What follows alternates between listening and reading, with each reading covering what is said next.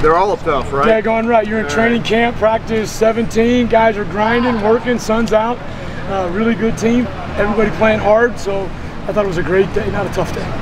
Have you seen any good effects from not having two a days, Kerry? I mean, it's a completely different schedule. It's the NFL schedule.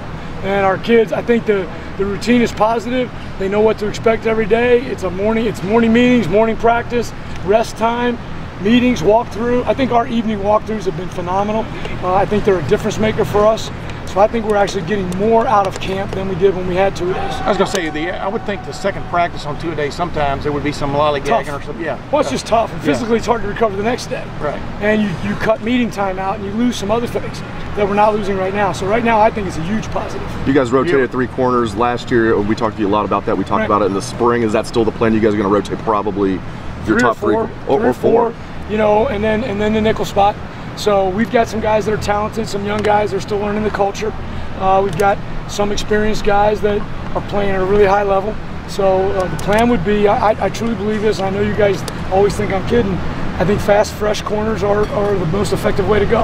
And you know, we played a game last year where a team ran three straight vertical goes uh, with three fresh guys on on one guy, and that's a tough way to go. So our plan is to play and have fresh corners on the Who field. your, Denzel- who, yeah, who go are your ahead. three right now? Who, who would be your three you throw out there? Denzel, uh, Damon Arnette, and Kendall Sheffield right now. Jeff Okudah's making a huge push, playing really well uh, the last three days. Shaun Wade's last two days have been his best two as a Buckeye.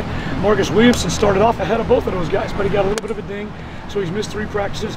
Amir, because he came in June, is a little bit behind, and that's just the nature of things.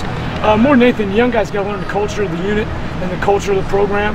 And I think when they really, really get that and it becomes part of who they are, it'll be uh, it'll be a really, really cool thing for them. Damon Arnette, especially, what, just stood out about him? I mean, in the spring, we asked you about him. I know I did, and and then Pat. Damon's always had really good physical skills, and he's always been a little bit lacking from a maturity standpoint, and that's just grown man conversation that we've had over and over and over again.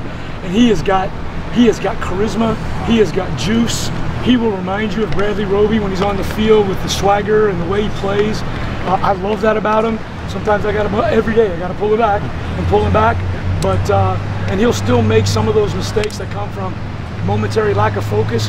But I'm telling you right now, he's he's a football player, and he's a he's a Buckeye. You want to go to you're gonna go get in a fight. You're gonna take Daniel with you. You mentioned uh, that Jeffrey Okudah in the last three or four days has been this. Yeah. What, what's been the difference? What do you see? Is the last three or four days, Yeah, like it's maturity. We had a unit meeting last night. We talked about each player, what individual thing they needed to do to get better, and his is focus. His focus every play. You know, he's still a young kid, and this this a training camp for a young kid. This is dramatic. And so uh, it, it takes them a little bit of time and a little while to get the swing of things. He's finally starting to get it. Once he can focus every play on just that job, just that play, I think he's going to be a great player. On special teams, can you go down maybe some of the top guys? Obviously, Parris, I'm sure, is going to be the kick returner, but punt returner, who are going to be some of the main guys at punt returner? we have we have a great group of fast athletes back there right now. KJ Hill, probably the most secure uh, receiver of punts and kickoffs. Great, great hands. Um, Demario McCall is an electric player. Kendall Sheffield is very, very fast with his hands on the ball. Eric Glover Williams can make you miss in a portalet, and and like you said, Parris Campbell, who can catch both uh, kickoffs and punts. So we have a lot of guys. J.K. Dobbins is dynamic. So we have a lot of guys back there that are vying for the opportunity to do that. Number one thing will be ball security. Number two thing is going to be, can you put your foot in the ground and, and go get us some yards? Because we're going to be better on punt return this year. and the kicking game, um, how's, how's Sean doing as the kicker, and how's, how's Drew doing as the punter? Sean and Blake are competing at kicker, and I think that's Okay. only right. I think that's only fair. I think that's how you how you go into camp. And uh, Sean has handled that very well. Uh, he, he's not perfect yet, but he's much better than he was last year with the injury. He's kicking through the ball well. Uh, Drew Chrisman is a phenomenal punter, and uh, you're going to be excited to see what Drew, Drew does with the ball. We had a great punter.